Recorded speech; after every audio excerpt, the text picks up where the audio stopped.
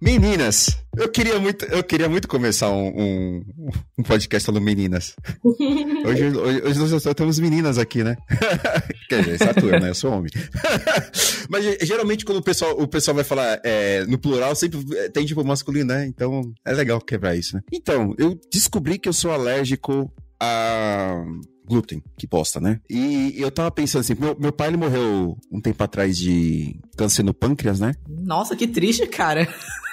Ah, ele morreu, cara. É ciclo da vida. Ciclo da vida, acontece. É, já foi triste, mas agora a gente faz até piada de vez em quando. E, e eu fico me pensando assim, se o meu pai tivesse acesso a uma, uma, uma a, a, saúde de qualidade, será que ele não teria descoberto? Às vezes eu fico pensando, será que não foi alguma coisa do tipo isso, que ele ficou muito tempo arrastando até piorar? Porque inflamação, né? Você fica com inflamação o tempo todo por causa de, um, de uma, uma condição alimentar, e aí pode desencadear uma coisa grave dessa, né? Eu, eu tava pensando nisso esses dias. A pergunta é, como você descobriu que você tá com alergia a glúten?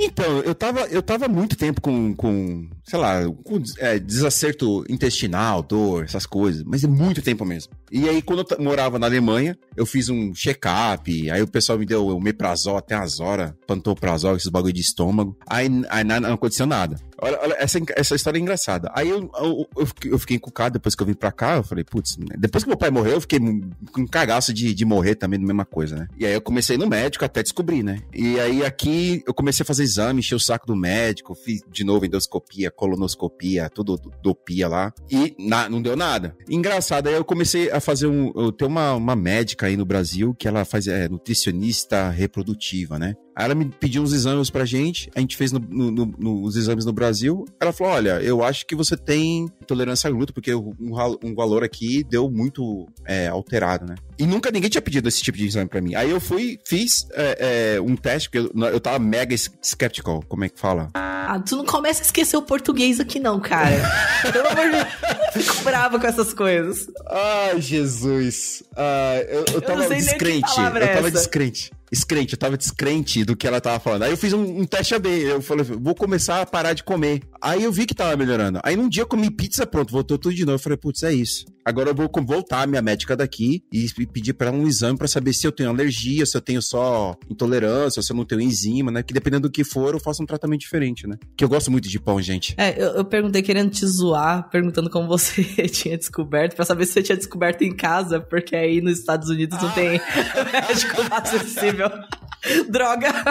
É que off, off, offline, galera, é, eu tava conversando com a Kate que eu, eu tô num processo de perder peso, né? E aí eu cheguei no meu primeiro platô. Depois de ter perdido 11 quilos. Senhoras e senhores, esse é o Dev Health. Não, mas é, é, faz, faz sentido. Depois de ter perdido 11 quilos, eu, eu cheguei no platô e eu tava conversando com a Kate aqui. E ela falou: Ah, como é que você tá tendo acompanhamento? Eu falei: Não, eu tô é, medindo a minha taxa, taxa metabólica basal aqui num, num, numa balança inteligente que eu tenho em casa e tô consumindo 60% disso. Aí ela tava brigando comigo porque não tava com acompanhamento. Mas tá dando certo até agora. Bom, mas não, de novo, não é, a gente não veio aqui para falar disso aí. Daqui a, daqui a um, um, tempo dá pra fazer um compilado só das minhas histórias de vida, só no, no, nos DNA, né? Mas tudo bem. Deve na Estrada, o seu podcast sobre desenvolvimento. Deve na Estrada. Toda sexta, um novo episódio sobre tecnologias e entrevistas. Tudo com muito humor e alegria.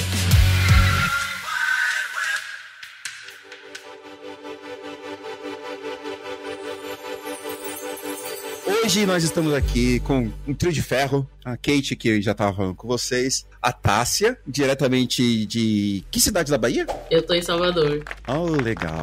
Tá em um lugar que eu queria. Eu queria... Sofrendo, né? Só que não. e estamos com a Nicole. Que... Oi, Nicole, você tá falando de onde? Rio de Janeiro. Pareceu rádio agora, né?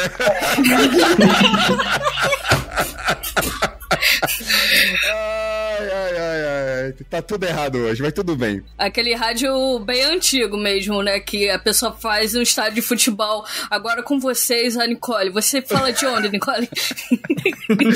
gente, desculpa. Não foi, não foi proposital. Mas é isso, gente. Aqui a gente tá. É, Nicole, que, que lugar do Rio de Janeiro você tá? Cidade de Deus, CDD. Ah, legal, legal. Eu, eu, fui, eu fui pro Rio de Janeiro uma vez. Eu fiquei Penha, não sei o que da Penha. Perto do Alemão. Aí eu fiquei com medo, viu? E olha que eu sou da quebrada. Mas é, o Rio de Janeiro é, lugar, é, um dos lugares mais bonitos que eu já vi. E eu acabei, eu acabei ficando, sei lá, até duas da manhã ali na Ipanema conversando com o pessoalzinho lá. Foi uma experiência bem legal. Bom, eh, nós estamos aqui é, não para ficar falando de, de cidades, mas para falar da nossa vida, né? E por que, que a gente tá com esse setup específico aqui hoje? Porque é, a gente, eu, tava, eu tava conversando falando com as meninas aqui, e a última gravação que a gente fez sobre é, o, o, o, livro de A Regra Não Tem Regras na Netflix, eu tava falando pro, pro Emílio, ô Emílio, a gente tem várias histórias de quebrada, né? Que a gente passou, vários perrengues, só que a gente nunca compartilhou. E eu também não quero falar sobre mim, porque tem um podcast antigo né, do, do na Estrada falando é, da minha história. E eu queria chamar, né, o pessoal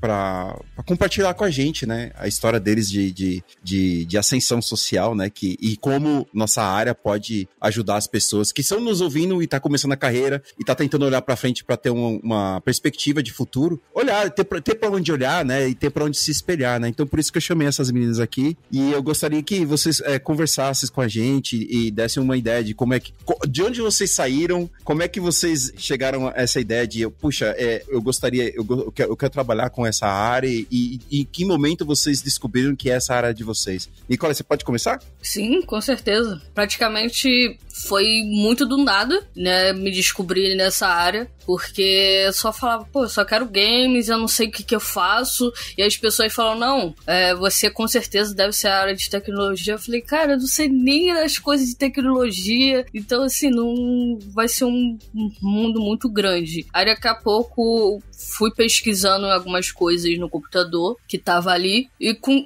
com o tempo eu me apaixonei por computadores e nisso, daqui a pouco a pessoa tava lá desmontando, montando o computador, limpando, fazendo o próprio suporte de computador e ensinando as outras pessoas a isso também, principalmente as mulheres que não têm tanto suporte para conseguir se sentir confortável. Até ontem tava no grupo de estudo e a pessoa falou: "Pô, como assim notebook se limpa?" Eu falei: "Notebook se limpa por dentro sim também. Ele precisa de um banho legal, né? De uma, uma um, um seis, seis meses por aí, você limpa ele bonitinho e as pessoas ficam, pô, é só desinstalar o programa, ele, ele vai voltar a ficar rápido de novo e mal sabe que é realmente a sujeira é, no, dentro do computador deixa o computador lento a beça. Olha só, essa é uma informação nova, hein? Eu nunca Sim. vi um notebook, cara, pra limpar. Deve estar tá como? Aquela, aquela crosta de esponja, né? De, de sujeira linda. Nossa, é verdade. Ô, Will, como assim você não começou montando e desmontando o computador? Essa é uma história clássica de todo mundo que entra na área. Não, não, não. Eu, eu sim, mas é, é essa é uma informação nova. Eu, eu... Você nunca parou para limpar seu computador? Não, calma aí. Você, você desmontava e montava o computador e não sabia que notebook se limpa. É, não sabia que notebook se limpa. eu nunca tive notebook naquela época. Eu fui ter um notebook depois. Cara, meu primeiro notebook, eu acho que foi depois que eu já tinha, sei lá, uns 4 anos de carreira já. Quando eu comecei, nossa, olha o papo de velho. Era tubo, aqueles tubo, é, é, monitor de tubo, que era, que era meio bege, sabe? Aquele teclado que hoje virou na moda, teclado mecânico, entendeu? Mouse com bolinha embaixo. Esse bagulho que eu mexia quando eu comecei. Ô, Nicole, você tem quantos anos? Tenho 25 anos. 25. É, Aí. ela, ela tá no meio termo aqui entre eu e você, né, Will? É, então. Você chegou a pegar o computador de tubo? Já, já. Já, já consegui pegar. Eu acho que é. Mas An só em Lan House mesmo. Eu é. pegava aquele um realzinho, ia pra Lan House e curtia. Porque só quando eu tive meus 15 anos, aí veio aquela, aquela coisa, aquela festa. Você quer festa ou você quer algo? Eu falei, não, quero computador. Aí. É, bati o tecla, até conseguir ganhar o computador e não me arrependo até hoje de ter escolhido essa situação. E Tássia, como, como, é, como, como que você começou a se interessar por, por essa área de tecnologia? Gente, o meu foi bem assim, 100% movido ao dinheiro. Boa, boa. Porque, não, tipo assim, é honestidade total. Motivação tipo, justa. Eu, eu já eu gostava de tecnologia, tipo assim, ah, eu achava legal fazer sites, mas eu não manjava absolutamente nada. Tipo, tanto que eu achava que tudo que tava na internet era feito pelo Google, assim. Tipo, o único jeito de você trabalhar com programação é trabalhar no Google. Era esse meu nível de conhecimento. E aí eu sou formada em psicologia, tipo, nada a ver. Eu trabalhava com treinamento e desenvolvimento. E aí eu já tava, tipo, surtada e. Treinamento e desenvolvimento pessoal, né? É.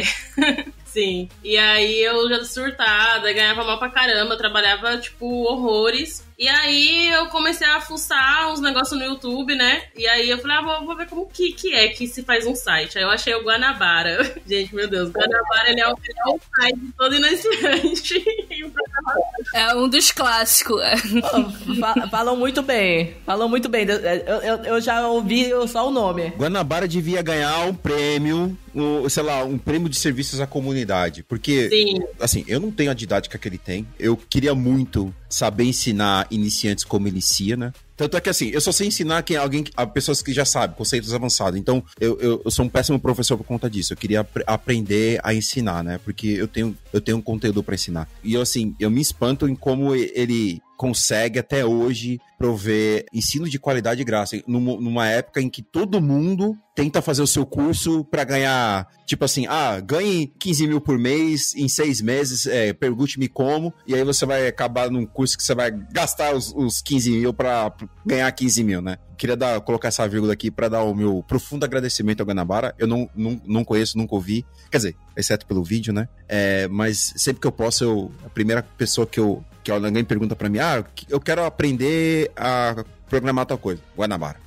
Eu faço isso com todo mundo também. E aí foi isso, aí eu comecei a ver uns vídeos do, do Guanabara, comecei a estudar, comecei a, a pesquisar algumas coisas tal. E aí, na época, tava tendo inscrição pra um bootcamp, né? Tava. Não era igual era hoje, assim, tipo, essa, febre toda. Mas aí tava tendo um bootcamp X lá. E aí era o último de inscrição e eu me inscrevi. E aí eu fui aceita. E aí era um curso de back-end, que era com Node. E aí eu cheguei lá e o povo falando de API, de não sei o que. E eu ficava tipo assim, meu Deus, o que, que eu tô fazendo aqui? tipo, meu, não vou conseguir aprender nada. Mas aí foi massa. Tudo bem que meu curso foi de back, depois eu fui contratada como front, né? Que eu, gente, nossa, sou péssima com back-end. E aí foi isso, e, mas aí foi, foi bem massa. E, aí, e outra coisa também que acho que é importante a gente falar que as pessoas não falam, que quando se fala em tecnologia, o povo pensa muito em isso, né? Tipo assim, em programação. E não é só programa. E programação, obviamente, que né, é uma da. Tipo, sei lá, que você tem mais vaga, mas não é a única possibilidade, né? E tem outras coisas pagando tão bem quanto. Tipo, agora, neste momento, eu não sou mais dev, graças a Deus. Eu trabalho com produto. E aí eu tô amando, assim, sabe? Trabalhar com produto tal. E, e é, é alguma coisa também que eu não sabia. Então, tipo assim, a tecnologia me apresentou um monte de coisas que, eu, que dá pra você fazer, que você ganha muito bem pra isso e que a gente não faz ideia. Tipo assim, de cargos realmente que você não faz ideia que existe, assim. Tipo, eu trabalho no setor de inovação. E aí eu tenho um cargo hoje que meu cargo é ficar criando coisas, assim. Eu falo, tipo assim, gente, eu sou paga literalmente pra, pra ter ideia. Tipo, é muito. O, o legal é que você sabe de código, né? Então você não deixa a dev te enrolar, né? Sim, exatamente. Eu sempre falo, quem for de produto aprende um pouco de desenvolvimento, porque dev enrola muito. Mas assim, eu não sei se porque eu vim do desenvolvimento, mas eu vou, vou ser sincera com você. Eu sou muito chata, assim. Eu acho que todo mundo que trabalha com tecnologia, mesmo que não necessariamente com desenvolvimento, tem que saber o mínimo, assim, sabe? Sei lá, é, recrutador tem que saber o mínimo de programação, pessoa de produto, pessoa de. Gente, porque não tem como, sabe? Porque assim, justamente que as pessoas não sabem o mínimo, que elas são doidas, assim. Aí você vê a galera reclamando de, ah, porque meu, meu, meu PM isso, não sabe fazer as coisas, porque a galera quer coisa absurda, a galera foi prazo. Mas é porque não tem conhecimento, sabe? Então, nossa, lá na empresa eu sou chatona com isso, assim. Tudo que o povo vem falar, fala, assiste esse vídeo aqui, ó, que você vai entender do que estamos falando. Boa. Eu, eu queria entrar num ponto que você falou, é, que eu acho que é bem importante aqui pra gente discutir, que é como a área de programação, por ela ter alta demanda por talento e pouca oferta, né, de, de, de, de pessoas qualificadas, acaba, acaba se baixando bastante as exigências para que a pessoa ingresse na, na área, né? Então, se você sabe é, minimamente o que você está fazendo, parece que é, é, é, um, é um bom começo para que você é, entre na área. E se você tem a, a determinação e, e a disciplina suficiente para você aprender, é, você vai chegar num, num momento que esse atalho que a, a área de tecnologia te dá, né? Essa barreira de entrada baixa que, que nós estamos agora vai te dar, vai te abrir oportunidades para que, por exemplo, se você, com a sua formação de psicologia, psicologia, né? Desculpa. É, seria muito mais difícil você conseguir um cargo de PM. Vem direto do, da, da rua, sim. Exatamente, entendeu? Porque a barreira de entrada é maior. Se- é, eles vão querer que você. Eu não sabia nem que o cargo existia, né? Pra começo de conversa, assim. É, então, e, e eu, eu gostaria de, de, de, colocar isso em pauta também, porque eu já vi algumas outras pessoas também que entraram na área de tecnologia, porque, poxa, é uma, é uma ferramenta de acessão social se você souber utilizar ela é, é, apropriadamente, né? A gente já conversou isso algumas vezes aqui no, no, no Dev na Estrada, que, assim, no final do dia, a gente tá jogando o jogo do capitalismo. Por mais que a gente tenha nossas convicções políticas, é, religiosas e, e, e econômicas à parte, no, no, dia a dia, o que a gente tá fazendo aqui é puro, puro e simples capitalismo, né? E a gente tem que jogar o jogo. E eu acho, assim, eu, assim, existem. Aí eu tô, vou entrar um pouco mais na, na área de como eu me vejo como preto, né? Se você for ver, olhar no passado, né, na, no movimento negro no, no, no, mundo, e mais eh, notoriamente você vai ouvir falar sobre o movimento negro nos Estados Unidos na época da, da, da década de 60, você vai ver que tinha duas, duas grandes vertentes, né? Você tinha a, eh, a vertente do Malcolm X e a vertente do Martin Luther King. Vamos dizer assim, um era mais sutil e o outro era mais agressivo, vamos dizer assim, em linhas gerais.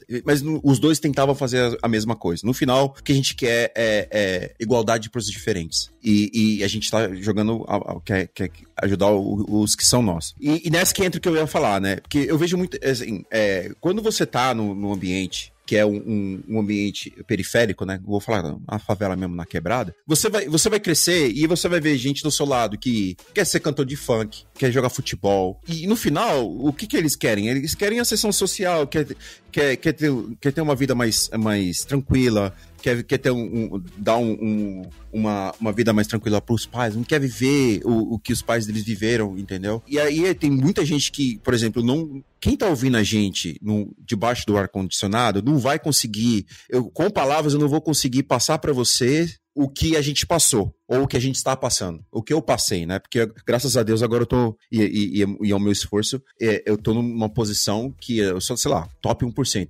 Mas o, o que eu quero mostrar para quem, quem tá debaixo do ar-condicionado e não entende a realidade do, do gueto é que, na maioria das vezes, a gente se encontra sem alternativa no gueto. A gente, se, a gente, a gente, a gente acorda de manhã e aí, por exemplo, eu, tenho, eu, eu tive amigos de infância que morreram, foram mortos por, por outras pessoas, que, que, também da quebrada, mortos por policiais. E aí você cresce nessa realidade, que eu cresci na década, no final da década de 80, começo da década de 90, onde as coisas eram um pouco mais violentas. Eu, eu me lembro que toda segunda-feira tinha um, um, no repórter lá, nesses repórteres que tinha lá, sangrento lá de, de, de Bandeirantes e de Record, falou, ó, oh, esse final de semana morreram 50 pessoas assassinadas em São Paulo. E é assim, não só em São Paulo, no Rio, é assim em todo lugar as pessoas acabam sabendo mais do Rio de São Paulo porque é o lugar onde tem mais, é, mais população, mais cobertura da mídia. E o intuito desse. Eu sei que eu tô falando demais, mas eu, é, eu sou um pouco apaixonado eu, é, sobre esse assunto e eu nunca tive a oportunidade de falar isso abertamente. E o que eu, eu tô querendo passar para vocês é que você,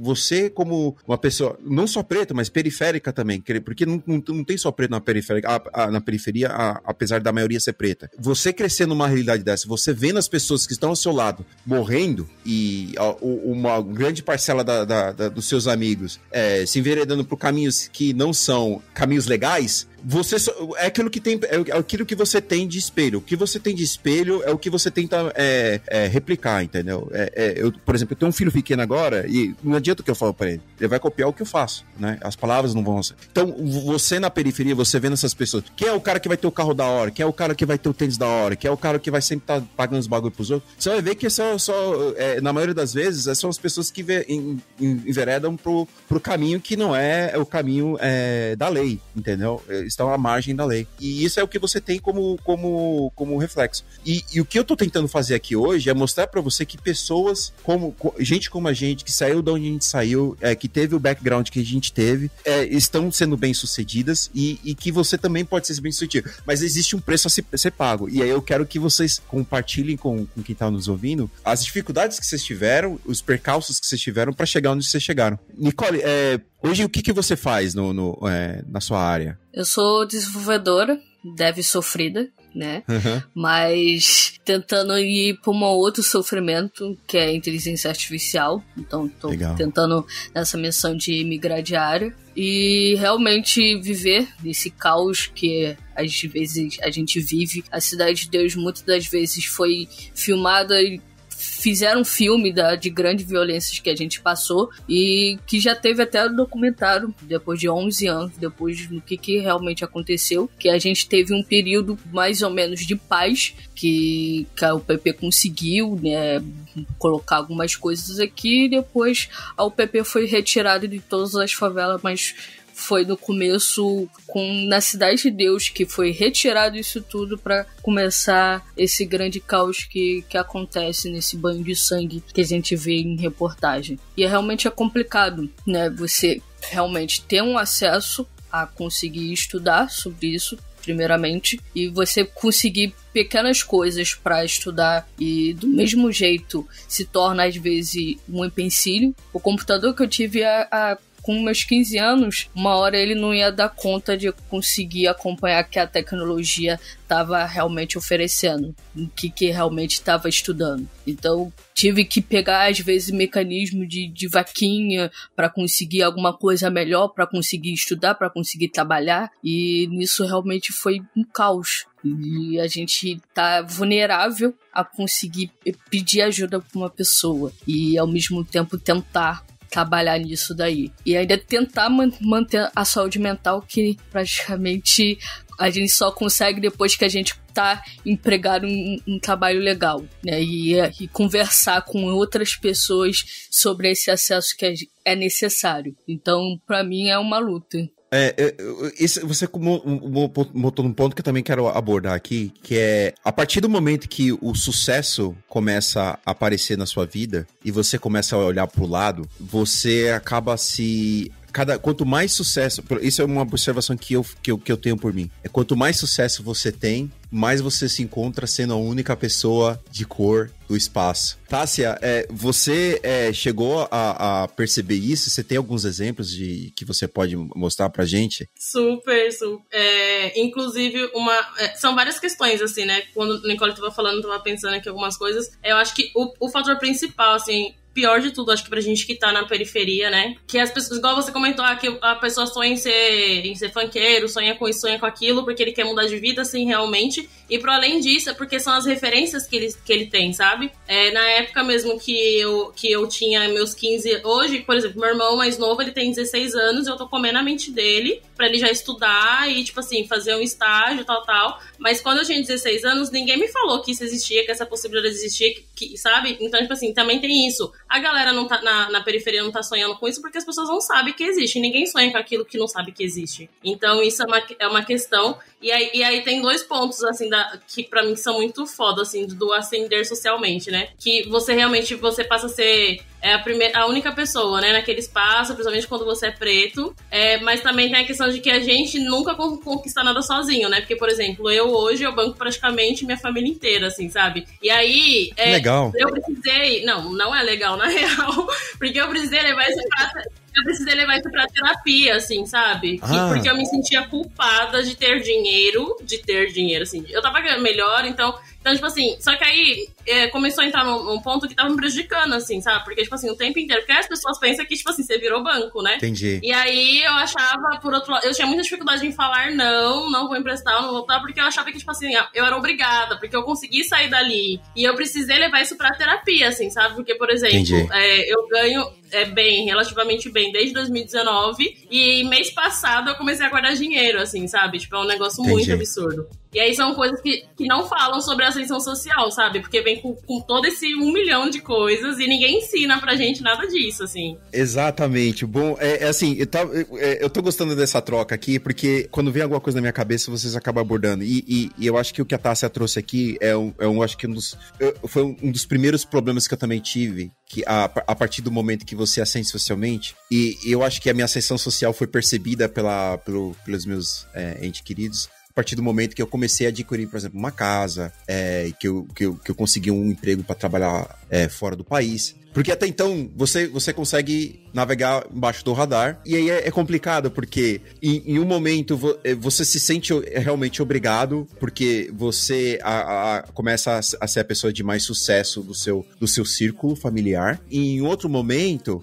é, você precisa alinhar expectativas, mas é difícil alinhar expectativa como tá, a maioria das pessoas estão passando o peguengue. E um outro ponto que a, a Tássia deixou no final da fala dela, que eu acho que é uma coisa bem importante, é ela falou falou que ela, ela, ela começou a ganhar bem há dois anos e meio atrás, mais ou menos, mas só agora ela começou a guardar dinheiro. Eu, eu vejo as pessoas falando nas redes sociais que é, é muito fácil você investir, você guardar dinheiro, não sei o que. Gente, eu tive que ganhar muito dinheiro para começar a entender que, não, agora eu tenho que guardar. Porque tá sobrando dinheiro. É, assim, é uma coisa que, como eu posso dizer, é, é falta na nossa educação básica, de alguma forma, que a gente cresce com, sem essa, essa, esse conhecimento. E aí, quando a gente chega na parte adulta, guardar dinheiro significa ter uma poupança. E para quem sabe jogar o jogo, guardar o dinheiro na poupança é perder dinheiro. E a gente não tem essa informação. Então, quem tá na frente no jogo já sabe que tem outras coisas que você pode fazer. E, e aí, depois que eu vim para os Estados Unidos, é outro rolê, cara. Yeah. Where do we go? Queria compartilhar com vocês uma história que foi um, um, choque de realidade comigo. E aí eu queria que vocês também mostrassem qual foi o choque de realidade de vocês. Eu, eu me lembro que eu também eu, eu nunca tive é, condições financeiras para fazer faculdade. Escola pública a vida inteira. Eu tive três, quatro anos de escola particular no, quando era, era novo, mas porque no começo minha mãe trabalhava numa escola como faxineira e eu ganhei bolsa de estudo. E depois a dona da escola me conseguiu uma vaga numa escola particular com bolsa 100%. Né? Então, só assim que eu estudei essa época é, escola particular. Mas minha escola, meu, o resto da minha educação foi toda em escola é, pública. E aí, você, numa escola pública, você, mesmo você tendo capacidade, você tendo condição de você seguir é, um, um, caminho numa universidade, você tá, tá, tá atrás no jogo, né? Você, você, teve educação, porque a educação básica, a educação de ensino médio era muito deficitária no Brasil, quando você compara o ensino é, público com o ensino particular. E aí eu, eu, queria, eu queria ouvir de vocês, é, eu, eu não sei é, se, é, se, todas são formadas, a, a Kate falou que não. Eu tenho uma, uma opinião bem particular com relação à ajuda social para ingresso em faculdade. Eu posso é, explanar isso depois. Mas eu, eu tenho que reconhecer que eu só estou onde eu estou porque existiu no passado um projeto de, de, de nivelamento para que as pessoas que tiveram o background que eu tive conseguissem ingressar numa, numa escola, numa universidade, mesmo que a gente, eu no meu caso não tinha condições de, eu ganhava, eu, eu e minha mãe junto, a gente ganhava 700, 700 reais, né, é, naquela época. Então eu, eu fui do primeiro turma do ProUni, é, me formei pelo ProUni, o, bom, o bom do ProUni que é, me, me, me, ajudou a entrar numa escola, uma universidade, e o ruim do ProUni é que eu fiz um pacto. Por conta da escola que eu, que eu estudei, eu fiz um pacto de pobreza, de ser pobre por mais quatro anos, porque se eu tivesse. Porque eles eh, eh, verificavam a minha condição financeira a cada seis meses, e se em algum momento eu ganhasse mais de um salário mínimo, um salário e meio mínimo per capita, que era no caso só eu e minha mãe,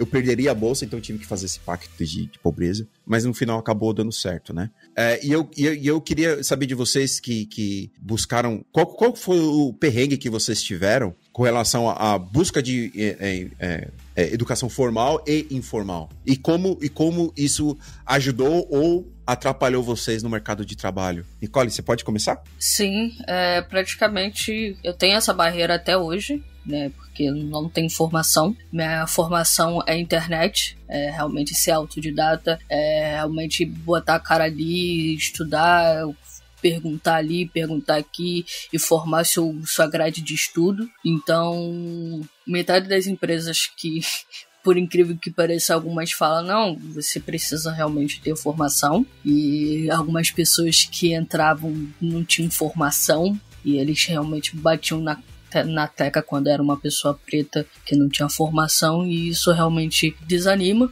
E fiquei nessa, nessa luta aí de quatro anos, como estudando aí front-end, é, um pouco de back-end também, para conseguir alguma coisa que não passava nada. Né? Muita gente ficava falando: nossa, você estuda tanto período aqui, você já consegue estar tá ingressado no trabalho, mas a realidade com uma pessoa preta periférica não, não é essa. É realmente ao contrário. Você, é, você só vai conseguir se você tiver indicação. E se você realmente conseguir passar em todos os testes possíveis que eles colocam lá, que são testes teste assim, mirabolante, que nem às vezes o sênior é, é, gosta de fazer esses testes que não tem lógica algumas coisas ali. E isso realmente faz com que a gente não consiga avançar. Eu não consiga avançar em alguns quesitos. Então, eu, às vezes, eu fico tentando fazer recursos para conseguir mostrar, tipo, eu tenho algum empecilho que eu posso realmente trabalhar nisso daqui. E, e, é engraçado que você falou uma coisa importante aqui, que é o capital social que a gente não tem de saída, né? Sim. Que a gente, de novo, por mais que a gente fale, mas eu tô querendo colocar uma luz para quem tá no, no ar-condicionado agora. Entende que, assim, enquanto você tem uma, um, uma outra pessoa que tem um capital social para chegar ao QI, porque no final, a maioria das vezes é QI mesmo, e conseguir uma chance, porque eu tenho potencial, mesmo que eu não saiba tal coisa, é, é, do jeito que a empresa, a empresa pede, é, eu, já, eu, eu, já, já tô saindo na frente de quem é, não tem esse capital social por estar numa zona periférica, né? É, Kate, você, é, é engraçado que eu, eu, quero colocar você na, aqui na, na, na, conversa, porque você, você não é formalmente favela, mas você é periférica. Não tive uma condição boa. Também vim do perrengue. Fazendo uma ponte aí com o que a Nicole falou, ela disse teve dificuldade, né, de entrar na área por não ter formação, por ser uma pessoa preta e tudo mais. E eu tava pensando que eu não tive essa dificuldade, eu sou mulher, só que eu sou branca, essa é a única diferença entre nós. E eu consegui entrar fácil no mercado. Então, é nisso que nessas conversas que a gente vê que as coisas não são coloridas que nem a, internet mostra. Na internet é, é, sempre aquela coisa de, ah, vamos fazer programa de inclusão, vamos fazer isso, aquilo, mas na prática, tudo bem que é outra época, né? Eu já tô na área há mais de 10 anos, né? As coisas eram um pouquinho diferentes. Hoje eu acredito que a gente esteja batendo mais forte na, na questão da, da inclusão. Mas é nessas coisas que me pega, assim. Só que eu tava pensando que eu fui uma pessoa até que privilegiada, porque vocês falam, é, você principalmente, você já falou em outras vezes, conforme você foi ascendendo é, na sua carreira, você é, via cada vez menos pessoas pretas. E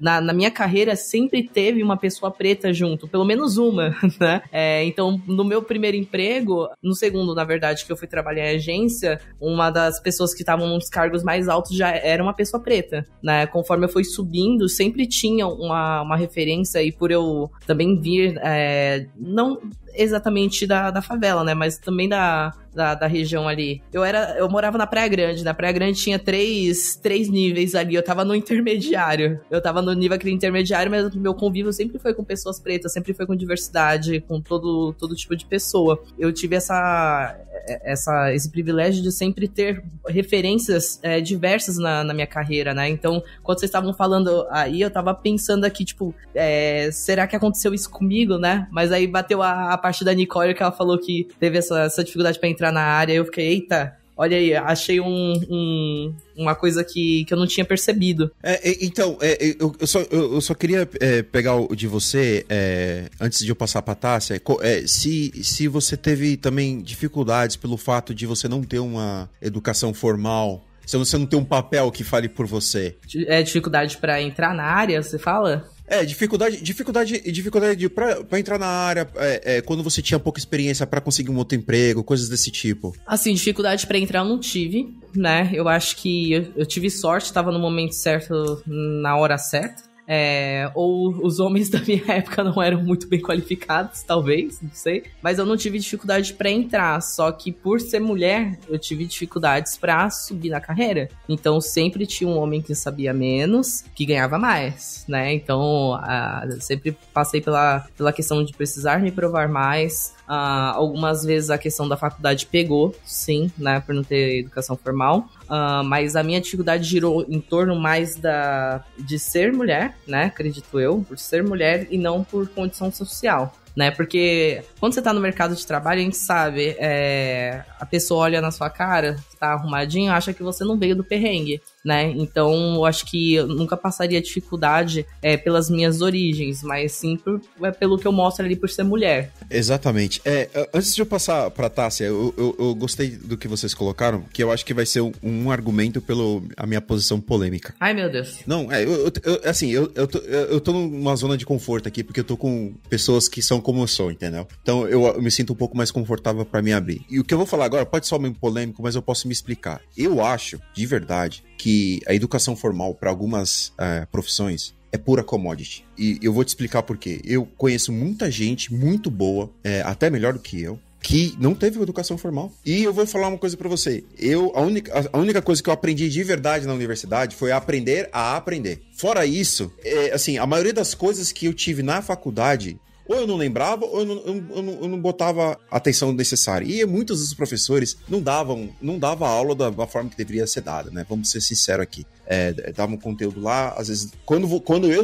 Eu, eu, eu, Espero que o Marquina, é, meu amigo, esteja me ouvindo agora, que ele vai se lembrar dessa, dessa, dessa, desse, desse, desse problema que a gente passou. Tive, teve uma prova de HTML, eu já era desenvolvedor front-end na época, e a professora perguntou como é que se fazia é, é, background no CSS na prova. Eu coloquei a resposta, ela me deu errado. A gente teve que abrir o browser na frente dela, instalar o Firebug, que não tinha esses developer tools na época, e mostrar para ela que era assim que se fazia para ela, ela corrigir a correção errada que ela tinha dado pra gente, entendeu? Então, é, tipo assim, era, era esse nível é, de que a gente, que a gente... E olha que eu estudei numa escola de... de é, uma escola particular de, de, de, prestígio. E eu, eu acho que no Brasil a gente dá muito valor a, ao diploma, muito mais do que se dá, por exemplo, na Europa. Quando, quando morei na Europa, eu percebi que existe lugar, é, é, mas é, é, muito de como a, a sociedade. Aí eu tenho, eu tenho uma tese de que o trabalho, o trabalho braçal europeu ele vem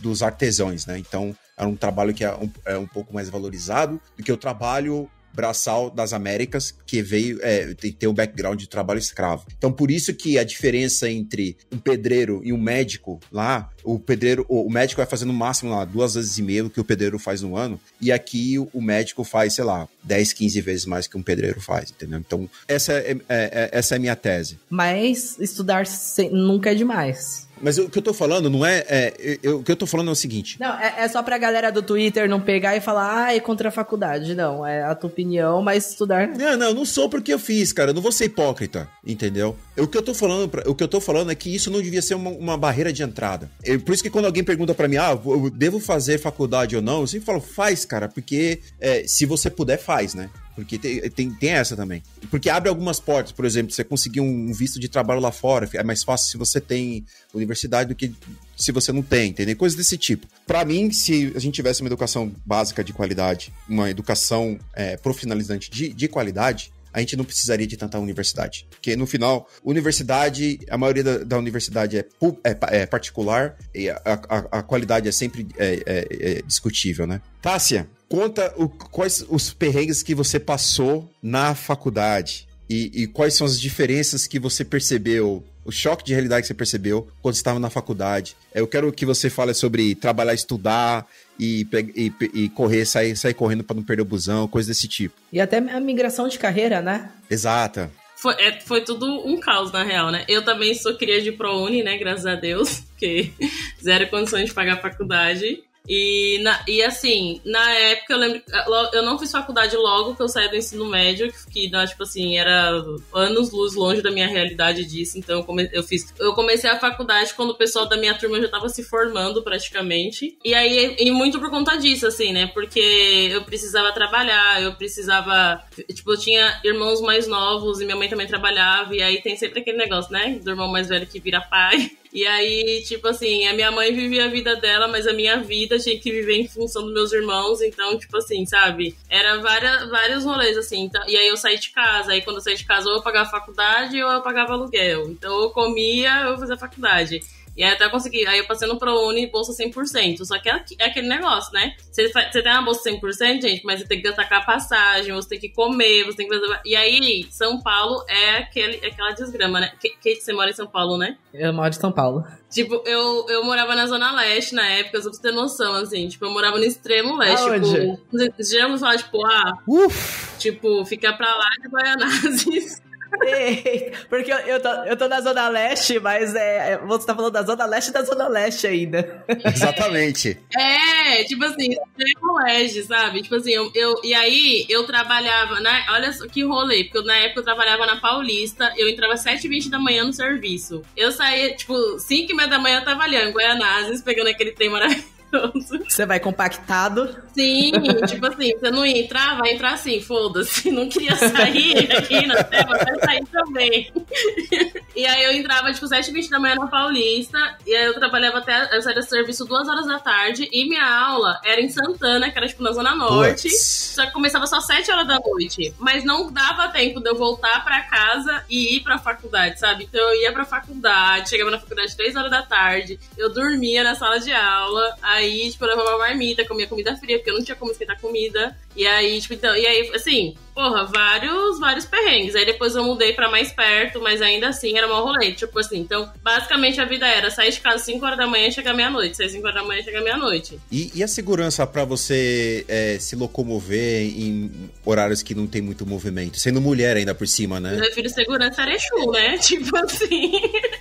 Que Exu proteja e protegeu, né? Porque não tem, não, tipo assim, não tem essa. Não, eu não tinha, eu morava sozinha, não, não tinha, tipo, ninguém, assim. Não tinha pai, não tinha irmão, não tinha primo, não tinha ninguém. Ou você vai ou você vai. E aí foi, aí beleza, foi massa tal. Mas quando eu, consegui me formar, consegui trabalhar, mas quando eu entrei pra área de pra área, como eu falei, eu fiz um curso também, né? Eu fiz um bootcamp. Esse bootcamp ele teve duração de mais ou menos quatro meses. E aí não tinha como, não tinha como trabalhar também, né? Porque o, o curso é, é- ele é bem, bem- ele é bem inclusivo assim, realmente, porque ele acontece o dia inteiro, você não recebe um auxílio nem de passagem, então tipo assim, né? Inclusive vírgula. E aí eu vendia café de manhã e fazia o curso à tarde, assim, sabe? Então, tipo assim, é porque era também a possibilidade. Porque eu fazia isso, então foi um momento assim que eu tive que falar. Falei, mano, eu, não eu tinha zero garantia de que eu ia conseguir o trabalho, só que eu também tava naquela, tipo assim, porra, se eu não, se eu não arriscar aqui, um-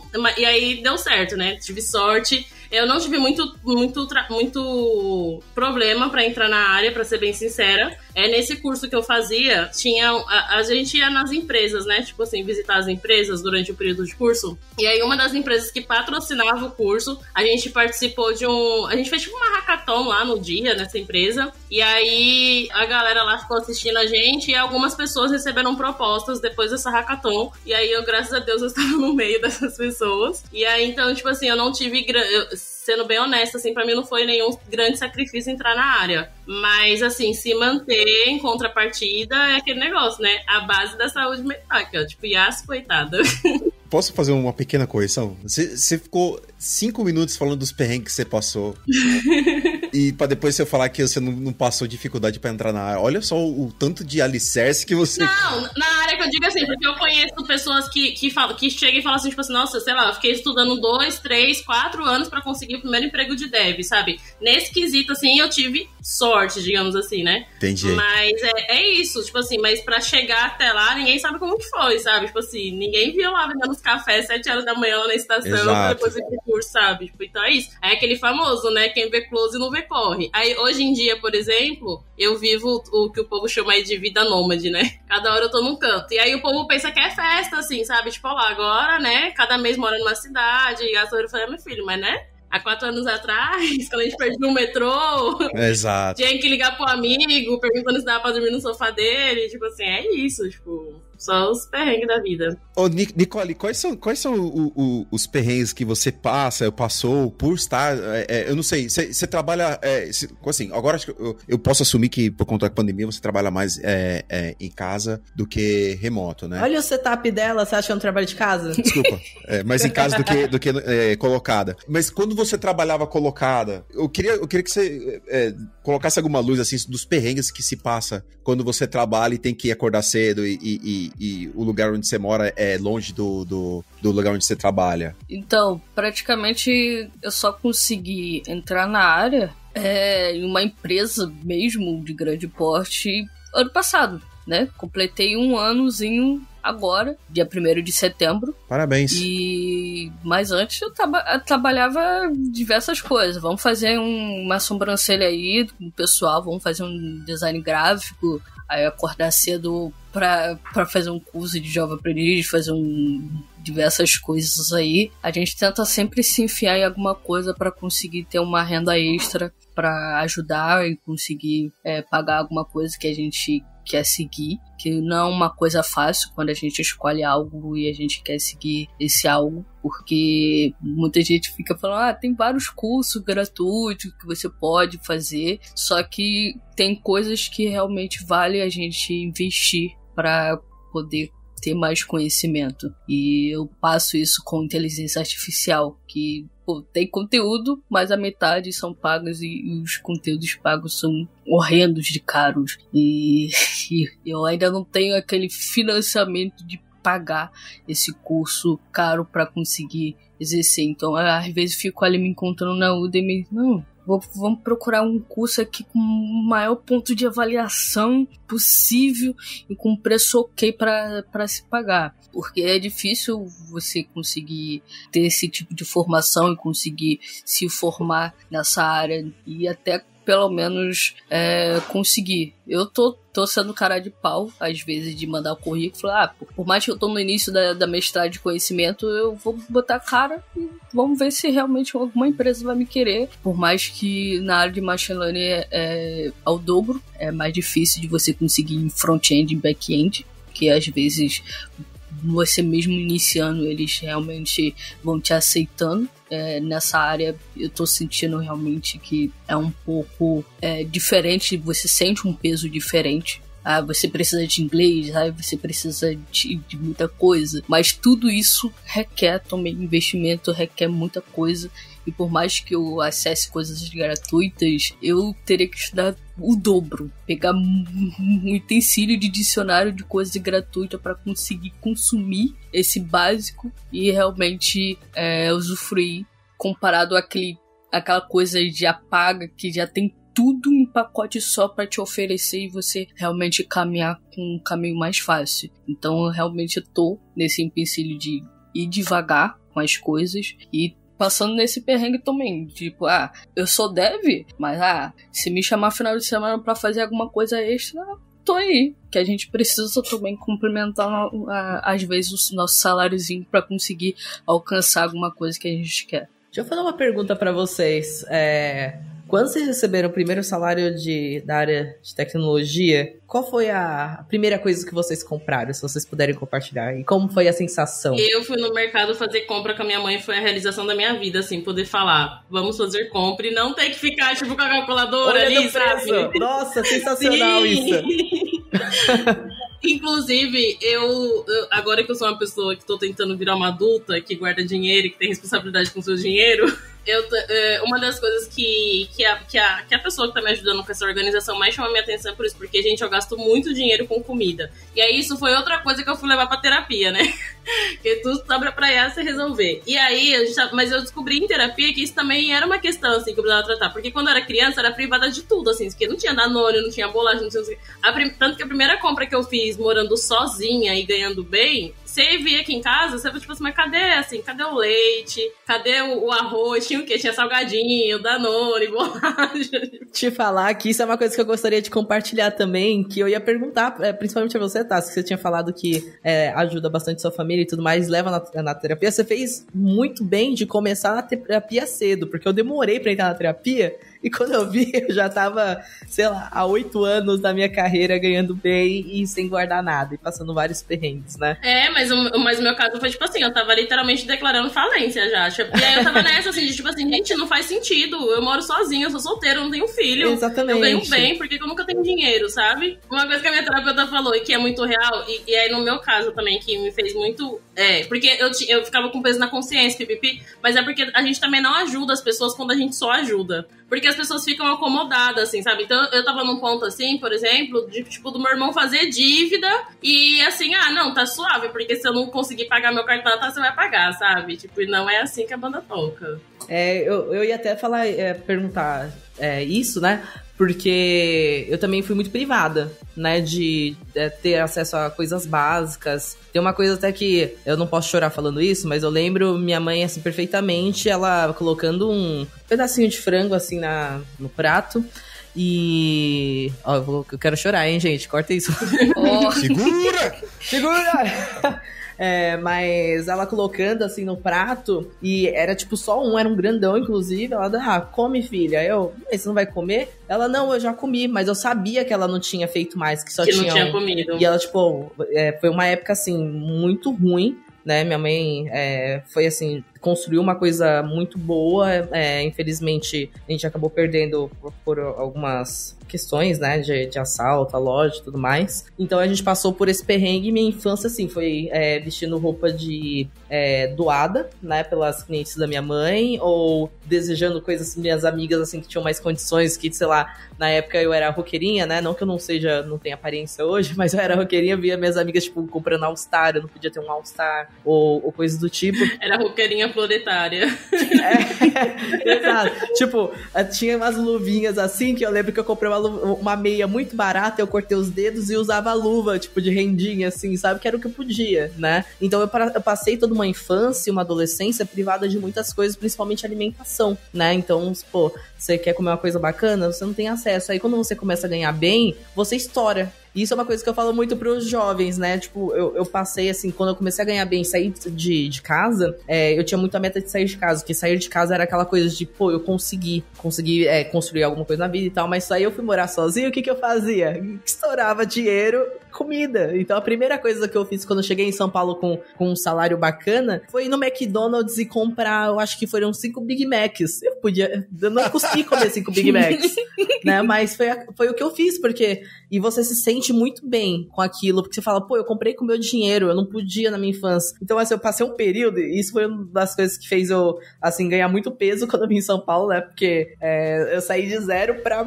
comer tudo que eu podia. Eu via qualquer coisa, assim, que eu sei lá, eu nem é, possivelmente nem ia gostar, mas eu ia lá, comprava porque eu ia comer, porque eu podia. Não, coisa, eu, eu tinha um negócio assim de às vezes ver coisa no mercado que tipo, deu lembrar de quando eu era criança que eu tinha vontade de comer aquilo, nunca tinha comido, comprava aquela bolacha calypso. tipo assim, exatamente. Pra experimentar essa porra aqui. No final tinha um péssimo investimento, viu, gente?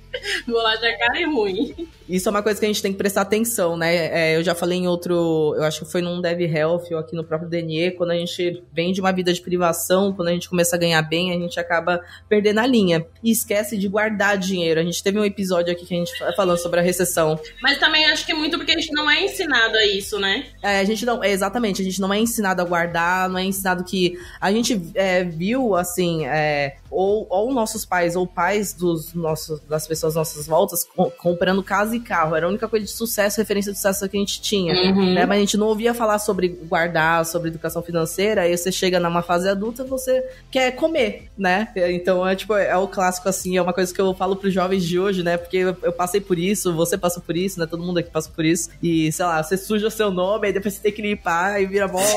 Nossa, eu, gente, eu, eu sujei, eu, eu fiquei com o nome sujo há uns três anos, viu? Aí eu Sim. consegui organizar minhas finanças assim que eu falo, parei, consegui virar uma adulta faz três anos, depois de não sei quantos anos de carreira, então tome cuidado. Mas é, você trouxe uma lembrança muito boa que até hoje eu tenho esse sentimento. Quando eu faço compras, é, quando chega, eu tenho muito carinho com essas compras, porque era tudo muito calculado, assim, né? Contadinho. Contadinho, você ia com as moedinhas ali, se passasse, tinha que pegar mais barato. Então, quando vem as coisas hoje, é, eu pego assim, eu, eu sempre falo pro, pro meu noivo, né? Eu falo, ó, mano, dá muita paz, assim, comprar comida. É uma coisa tão básica, né? Mas eu acho que é uma coisa legal de compartilhar. Uma parada que aconteceu comigo na pandemia, assim, foi quando eu falei, não, calma, talvez eu devo conversar sobre isso daqui com a minha psicóloga. Foi porque logo quando começou o negócio da pandemia, que teve aquele negócio lá de que, tipo, que ia faltar comida no supermercado. Gente, eu tava, na época eu morava com meu ex, né? E tinha, tipo, sei lá, um mês que a gente ia ido morar junto, pandemia. E aí falou que ia faltar comida no mercado. Eu falei, a gente vai fazer compra. Eu fei, tipo assim, dois carrinhos, sabe? Ele, tipo assim, tá, se a gente não vai comer tudo isso. E aí a gente tava naquela, né? Não, a pandemia vai durar um mês. Tipo assim, não, vamos levar comida. Eu sei que a gente ficou um ano isolado, só eu e ele lá morando nesse apartamento. E quando a gente foi embora desse apartamento, ainda tinha comida dessa compra que eu tinha feito, assim, sabe? Tipo, e meu, meu maior pavor, assim, tipo, é passar fome, sabe? Tanto que eu com fome eu fico irritadíssima, assim. Qualquer, qualquer coisinha que as pessoas querem fazer, eu já, tipo assim, mas vai ter lugar pra mim comer? Tipo assim, não, mas é caro. Não, mas tem lugar pra comer, né? Então tá tudo bem. Se é caro, isso é de menos. É, é lugar pra comer e pra sentar, né? Porque, tipo, ficar com pé o tempo todo realmente não dá. é complicado. É sempre, sempre aquelas. Ah, uma encostadinha, né? Encostar aqui rapidinho, descansar um pouco. Fiquei duas horas em pé, ficar três horas sentada. É, realmente é o meu rolê perfeito. E uma das coisas que vocês falaram que de, de comemorar quando recebeu o primeiro salário foi tipo, não, vou comprar uma pizza de 70 centímetros. Vamos comemorar com grande estilo. Aí minha mãe até chamou a amiga dela, a gente comemorou ali. Falei, ai, mano, meu Sodex, cara, agora eu tenho Sodex também. Passa assim. VR, venci na vida, tenho VR. Minha mãe saindo feliz da Nossa, vida. ganhar VR. Nossa, maravilha. Isso é vencer da vida, né? Ter um VR. Nossa, eu nem lembro. Você não lembra? Eu nem lembro que eu comprei quando meu primeiro salário de tech. Faz muito tempo. Você é velho, cara. Sou. Mas com certeza deve ter sido alguma coisa relacionada à comida, né? Ah, certeza. Ou foi comida ou foi roupa. Roupa e sapato. Isso que eu ia falar, ou, era, ou foi comida ou foi roupa, é. Uma das duas coisas. Eu me vestia muito mal. Eu me vestia muito mal. Eu tenho uma amiga aqui, que, inclusive, a, Mariana, que deu cano nesse podcast, Ah, ela já pediu desculpa. Tá desculpada, viu? ela é viciada em comprar sapato, assim, sabe, gente? Eu fico assim, eu falo assim, amiga, você não tem nem pé suficiente pra usar isso tudo de tênis pra você no ano, assim, sabe? E, a, e, a, e eu acho que é muito disso também, sabe? Das privações, assim. Ela fala, mas quem fala, tipo. Eu saía feliz de tipo assim, ia pro centro da cidade com, com pouco dinheiro, não. Vou comprar tênis de 30 reais. Eu ostentando que aquele tênis de 30 reais era ótimo. Mal sabia que eu tava sentindo o, ch- o chão ali, o solado do chão. E achava assim, nota 10 aquele tênis. Até comprar um Nike verdadeiro e falar assim, nossa, cara, isso é um tênis de verdade. Isso é um tênis. Olha, aí fazia pro Nike verdadeiro, né? É, é bem legal a gente conversar sobre essas coisas, que é pra é, mostrar para as pessoas que estão nos ouvindo que possivelmente estão sonhando com esse momento de que ele chega, né? Com. vem o perrengue, tem, tem o perrengue, tem a, a parte ruim. É, a gente sabe que, dependendo da pessoa, se ela é periférica, se ela é preta, se ela é gay, não sei. é, a gente acaba saindo é, um pouco atrás, né? Mas é possível. A gente vai sofrer um pouquinho mais? Vai. Imagino que é, eu, eu sofri bastante, vocês sofreram bastante. e Mas o importante é não desistir. A área proporciona isso, a tecnologia, assim, eu posso falar que eu entrei por acaso, mas agradeço imensamente. Eu, eu- geralmente eu brincava, né? Falava que é, não, não sei o que deu errado na minha vida pra estar em tecnologia, né? Brincava muito com isso, mas assim, é, eu agradeço muito pelas coisas terem dado errado para eu estar em tecnologia, porque hoje eu, eu pude construir uma vida, passei esses perrengues também financeiros e tal, mesmo ganhando bem, mas a gente aprende, serve pra gente aprender mesmo. E hoje também, uma coisa que eu sempre compartilho no Twitter, né? As coisas que eu tô conseguindo proporcionar agora, só agora pros meus, meus pais, né? Então, meus pais, eles é, é, falando aqui em off, né? Meus pais são nos- nordestinos, não têm educação básica. Meu pai é pedreiro, né? Minha mãe é autônoma. E eles não têm tantas condições. Eles ainda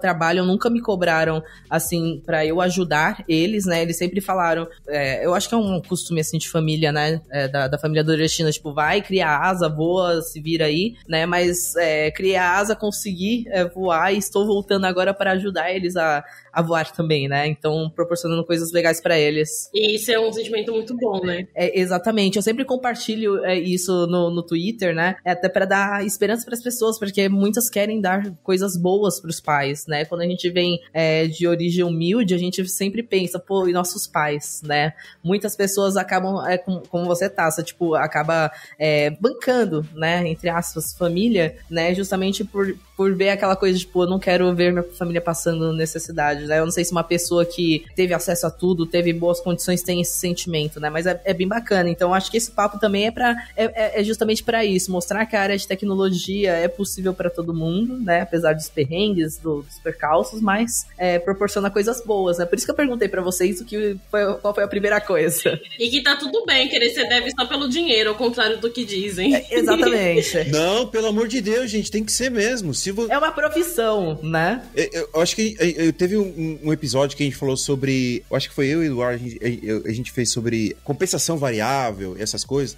teve um, um, uma sessão que a gente tava falando sobre a sessão social, né? E eu vou te falar, assim, como eu falei no começo, a gente tá jogando o jogo do capitalismo, é, a gente não pode ser romântico no jogo do capitalismo. Aí tem que ser pragmático. E, e desculpa, farinha pouco, meu pirão primeiro. Aí eu, quando eu falo meu pirão, o pirão dos meus seja lá quem são os meus, se é a minha família, se sou eu só eu mesmo, eu sou egoísta, ou se sou a, a minha se é a minha comunidade. Eu me lembro que eu, eu, eu, eu fiz um, um, aquele discursinho preparatório que era meio que de escoteiro, mas que te ensinava a trabalhar essas coisas. E eles deixavam, eles tinham um lema, né, que o intuito deles era fazer com que a gente eh, fôssemos úteis para a gente, para nossa família e para a sociedade. E eu acho que é nessa, é nessa ordem mesmo. Né? A gente primeiro tenta salvar o nosso, depois a gente tenta salvar a nossa família, depois a gente tenta give back, né, para a sociedade, né? E você que está nos ouvindo e vocês têm uma Assim, eu tenho muito conteúdo que eu possa compartilhar, só que eu não sei como. Então, você que está me ouvindo, você tem uma ideia de como eu posso ajudar a comunidade, e quando dizer a comunidade, não só a comunidade desenvolvedora, mas a comunidade periférica também, por favor, minha, minha caixa, minha caixa, meu inbox está aberto no, no Twitter, vem falar comigo.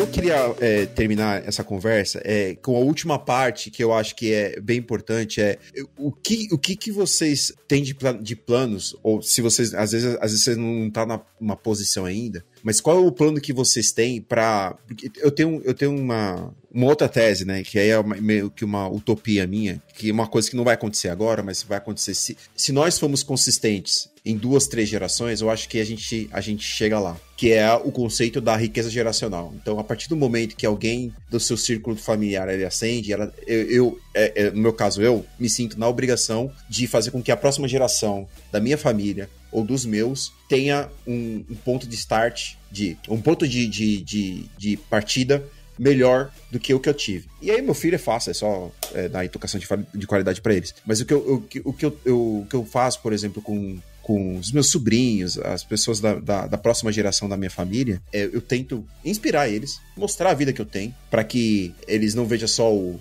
como a gente foi falando no começo dessa, dessa, dessa discussão aqui, é, não veja somente é, o rapper, o jogador de futebol, o malandro do, do, bairro, mas que ele veja também pessoas como nós, né? E o que, o que, que, você, o que vocês acham que seria uma contribuição legal para as pessoas que, que são gente como a gente, não só pretas, mas também periféricas, mostrar uh, esse mundo para aquelas pessoas que ainda não enxergam esse mundo. Assim. Qual, qual que seria para vocês a forma de pessoas de destaque contribuir para que as outras pessoas consigam chegar lá também? O que eu tenho feito agora, e eu acho que, sei lá, eu acho que as pessoas deveriam fazer isso. Eu tô tentando ser mentora agora de pessoas pretas, principalmente, é, pessoas periféricas, mas muito no, nesse, nesse sentido, assim, de mostrar outras possibilidades, sabe? Porque é o que eu tô te falando, é, a, gente tá, a, gente, a gente bate muito na tecla, assim, da dificuldade de entrar na área, mas, como eu disse, tem muitas pessoas que sequer sabem que a possibilidade existe. Então, eu acho que antes ainda tem um trabalho antes que precisa ser feito, sabe? E hoje eu tenho me juntado aí com, com o pessoal, com o pessoal do Quebra Dev, algumas pessoas que eu conheci aqui em Salvador, muito com o intuito, primeiro, de falar para as pessoas: vocês sabiam que existe isso daqui? e a partir do você sabia que isso existe, esse é o caminho, assim, sabe? Eu acho que eu não sou muito boa com algumas coisas, mas eu sou muito boa em conectar pessoas, assim, sabe? Então, tipo assim, eu acho uma pessoa que tem um interesse em tal coisa, eu consigo direcionar aquela pessoa e conectar com aquela outra pessoa que vai ajudar ela. E eu acho que é isso que a gente deveria fazer, assim, sabe? Porque por mais que a gente diga assim que ai, é, é como a gente, a gente falou aqui, não, realmente a área é muito boa, é, proporciona aí uma ascensão financeira que é ótimo, mas a gente sabe que existe todo um, um caminho das pedras para se chegar até, né? Tipo, ah, a pessoa, sei lá, tipo, Kate e Nicole, por exemplo. Eu, apesar de que eu também, né? Mas, enfim. Mas, é, estudar tecnologia, tipo, sozinha, assim, a gente que não faz faculdade. Tipo assim, quando tá começando, aquela loucura de, nossa, não, não sabe, assim, sabe, a sequência das coisas que tem que se estudar. Então, às vezes, o simples fato, por exemplo, eu tenho um negócio no meu e-mail que já é pronto, assim, eu tenho um e-mail lá que eu mando para todo mundo mundo Que é, e aí, obviamente, que a cada dois meses, assim, eu reviso, vejo se ainda tá, faz sentido aquele. Mas que quando as pessoas falam pra mim, ah, eu quero começar a estudar programação, eu não sei por onde começar. E aí eu criei um que fazia sentido para mim, uma trilha. Então, tipo assim, você quer o quê? Você quer ser front? Então você segue isso daqui com conteúdos gratuitos, porque, como a Nicole disse, né? Tipo assim, a gente entra na área, às vezes mesmo na área a gente não consegue pagar. Então, tipo assim, sabe, coloca. E tem muito conteúdo bom no YouTube, assim, sabe? Então eu tenho todo. Então eu tenho um e-mail que ele é padrão, assim. Então sempre que as pessoas entram em contato comigo, eu já mando esse e-mail. E eu acho que são coisas que pra gente às vezes é pequeno, porque, tipo, sei lá, uma hora do seu dia que você gaste escrevendo ali uma trilha para alguém e que depois você pode ficar replicando isso pra várias pessoas, você pode mudar a vida da pessoa, assim, sabe? Tipo, sei lá, coloca meia horinha da sua agenda, uma vez por semana, uma hora, uma vez por mês, que seja. E aí, porque antes eu tinha muitos negócios, tipo assim, ah, eu só consigo mentorar uma pessoa, então não vou mentorar ninguém. E quando, na verdade, está uma pessoa que você mentora, no futuro ela pode mentorar outra que vai mentorando. Então, tipo assim, se você só pode fazer pouco, faça, porque é melhor do que não fazer nada, sabe? É engraçado, eu, eu, esse negócio da mentoria, eu preciso, eu preciso, eu preciso pedir, pedir muito dicas de você. E, e, e assim, se você achar alguém de frente, por favor, mande para mim, porque é, quando eu, eu, às, às vezes que eu abri a minha caixa, a minha minha caixa de entrada para mentoria, era, só vem para mim pessoas que não precisam de mentoria, pessoas que já têm sucesso, assim, sabe? E é, eu ajudo todo mundo que, porque eu, nunca vou falar não, mas é, sei lá, teve um cara, bom, é, isso é, é, é papo pra, pra, um não, não, não, vamos queimar a pauta dessa vez. Tipo eu te pedi no Pepper Grammy. ah, não, não você, não. Pelo amor de Deus, isso aí é divertido. Nicole, é, você, quer, você quer deixar alguma dica? Sim, é, até vou passar algumas pessoas de, de front aí que realmente estão iniciando, porque meu conteúdo também no Instagram que eu tô tentando voltar a produzir ele é ajudar as pessoas iniciantes, por mais que eu estou estudando também é, inteligência artificial e estou caminhando, é sempre bom repassar nem que seja esse essa pequena coisa que você está estudando, que você, querendo ou não, você está aprendendo duas vezes a mais, né? Que você estuda e ainda repassa e você vai aprendendo até quando você repassa esse conhecimento para outra pessoa. E estou nessa busca também de mentorar algumas pessoas, né, a comunidade, porque antes eu só participei de um de um Coffee Code a hackathon, né? Consegui é, vencer logo de cara, uma coisa que até me surpreendi, e com isso caminhar com os projetos aqui de periferia, me ajudar. Eu sempre fui envolvida em diversos projetos, eu é, fui conhecida como a menina do projetinho, né? Que sempre estava ali em Copa de Alemão, na Maré, sei lá onde for, é, tentando sempre ajudar outras pessoas e trazer um pouco desse lado de tecnologia que às vezes eles não têm mínima noção do que, que é, como realmente é, pode ingressar nesse nessa pequena coisa. Nem todo mundo também tem acesso a computador, então assim, ter esse lado também presencial faz total diferença para as pessoas. E assim, é só você buscar e sempre tem tudo ao seu lado aí que você pode dar essa visão, você pode ajudar, você pode dar suporte. Por mais que você está iniciando, o seu iniciando, esse pouco de conhecimento que você está adquirindo também ajuda um monte de pessoa. Qualquer conhecimento que você faça vale muito. Nenhum é descartável. Pô, legal. Eu acho falar um pouquinho como uma organizadora de, de eventos também, né? Aí, me comunicando direto com quem também organiza eventos, é, é prover uh, acesso às pessoas iniciantes, é, periféricas, que é, possam acessar os eventos também. É, ver esses conteúdos, né? Porque eu acho que é extremamente importante a gente dar espaço eu sei que muitos eventos eles não têm empresas por trás, né? É difícil conseguir patrocínio. É, cada pessoa que está ali dentro ela custa um valor né? Mas sempre quando for planejar o seu evento, considerar que há pessoas também que é, precisam daquele espaço, né? Então, prover é, ingressos sociais para baixa renda, para pessoas que vêm da comunidade, tentar até prover coisas a mais, como transporte, como, como ajudar essas pessoas a chegar no seu evento, né? Então, acho que é uma coisa legal de se pensar também, não só mentorias, é, a gente passar nosso conhecimento individualmente, mas também falando com organizadores de eventos e comunidades, né? Como que a gente pode trazer mais pessoas para nossa área e prover esses acessos? Porque eu acho que o que falta é acesso, né? Ter o acesso para todas as pessoas. É, eu acho que é isso, então, né? O Wilson quer falar mais alguma coisa? Não, eu queria agradecer muito a, a presença da Tassi e da Nicole aqui. Muito obrigado. E assim, quando entra nesse assunto, eu fico um pouco mais apaixonado, né? Porque por ter caminhado muito tempo sozinho, e não ter compartilhado é, é, é, esses perrengues, essas experiências com outras pessoas, é tipo, são, são coisas que ficam guardadas e a gente, quando aparece a oportunidade, a gente quer falar. Então, se eu falei demais, me desculpem. É, a intenção aqui foi abrir espaço para vocês, mas eu também sou muito apaixonado pelo, pelo assunto, né? E eu acho que é muito necessário essas conversas também, William, porque hoje, principalmente nessa bolha dev maravilhosa que a gente tem, só que não, tem muito. O povo tá muito assim, sabe? JavaScript me deu. É.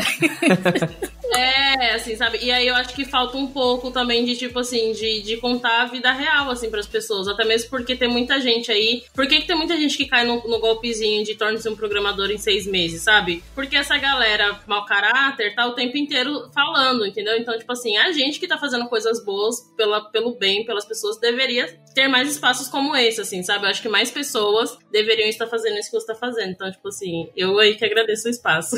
Ah, então, é, é com certeza, é, é, vocês que estão ouvindo a gente, se a gente deixou de abordar alguma, algum ponto específico, por favor, a minha inbox está aberta no, no Twitter. É, manda o seu feedback lá, qualquer que seja ele, porque eu quero ter mais desse papo com vocês. E a gente já falou de perrengues, vamos, nas próximas vamos falar de, de coisa boa, vamos falar de vitórias e da, uh, do, do, que, do que, que a área trouxe pra gente. Que é, que é que quando você é, chega num, num, certo ponto, é, é, é, é, gostoso. Quando você consegue pegar tração e, e velocidade de cruzeiro, é, é legal.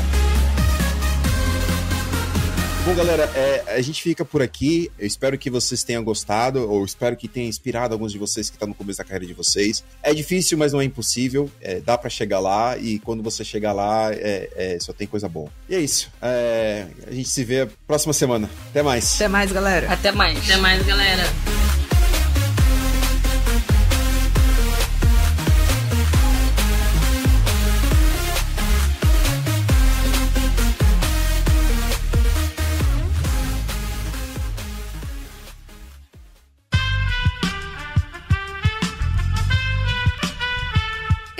Podcast foi editado por Aerolitos Edição Inteligente.